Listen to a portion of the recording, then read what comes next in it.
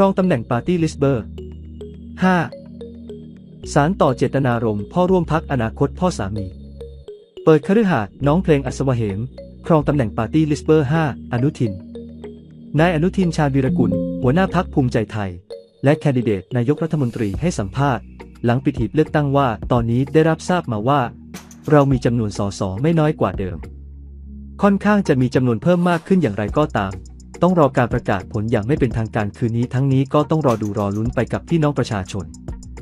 ทั้งนี้พอใจในการตัดสินใจประชาชนทุกคะแนนเสียง และกราบขอบพระคุณประชาชน ที่ให้ความไว้วางใจกับพักตอนนี้นับดูก็มีมากกว่าเดิมนับคร่าว ๆ ก็มีเพิ่มขึ้นเยอะเหมือนกันแต่ก็ยังไม่นิ่งเท่าไหร่ เลยยังไม่กล้าพูดอะไร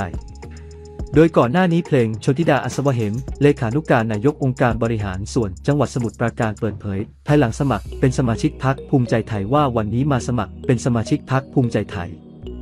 ขณะที่อนุทินชาญวีรกุล รองนายกรัฐมนตรี และรัฐมนตรีว่าการกระทรวงสาธารณสุข ในฐานะหัวหน้าพักภูมิใจไทย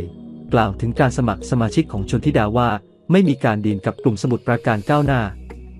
ซึ่งชนธิดาเปรียบเสมือนลูกสาวของตน และมีความสนใจทำงานรับใช้บ้านเมืองทุกวันนี้ชนธิดาก็ช่วยนันทิดาทำงานมีความทุ่มเทมีคุณสมบัติดีการศึกษาดี ซึ่งชนธิดาจะลงสมัครสสแบบบัญชีรายชื่อ ซึ่งจะต้องติดตามตนลงพื้นที่ไปทั่วประเทศ เรียกเสียงฮือฮาไม่น้อยเพลง ชนธิดาอัศวเหมเลขานุกการนายกองค์การบริหารส่วนจังหวัด อบจ สมุทรปราการไปเปิดตัวสมัครเป็นสมาชิกพักพร้อมประกาศจะเสนอตัวลงสมัครสสบัญชีรายชื่อในนามพักภูมิใจไทยขณะเดียวกันก็มองกันว่าสาวเพลง คือว่าที่สะพ้ายภูมิใจไทย เพราะคบหาดูใจอยู่กับหนุ่มเป็กเสรณีชาญวีรกุล ลูกชายหัวแก้วหวนของ เสี่ยหนูอนุทินชาญวีรกุลหัวหน้าพักภูมิใจไทย กระทั่งเมื่อช่วงเดือนตุลาคม 65 ที่ผ่านมาได้มีดราม่าการเมือง เมื่อปรากฏว่าภาพอนุทิน ชนสวัสดิ์ร่วมโต๊ะกินข้าวกับ หนุ่มเป็กสาวเพลง จนถูกตีความว่าเป็นดีลทางการเมือง ไปต่างๆ นานาก่อนที่จะมีการชี้แจงว่าเป็นเพียงการกินข้าวภายในครอบครัวตามประษาคนรู้จักกันเท่านั้น เพลงตัดสินใจมาอยู่กับพักภูมิใจไทย